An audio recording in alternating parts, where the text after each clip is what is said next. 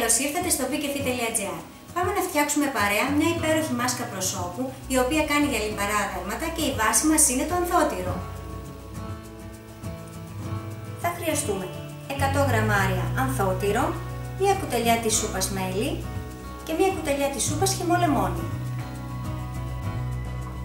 Με ένα πυρούνι τρίβουμε το ανθότυρο να τριφτεί καλά προσθέτουμε το χυμό λεμονιού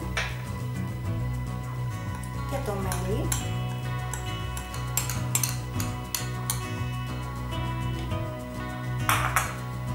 και τα ανακατεύουμε όλα καλά. Έτοιμη η μάσκα. Φτιάξτε και εσείς μαζί μου αυτή την υπέροχη μάσκα προσώπου με ανθότυρο. Βάλτε την για 10 λεπτά στο πρόσωπό σας και ξεβγάλετε καλά με νερό.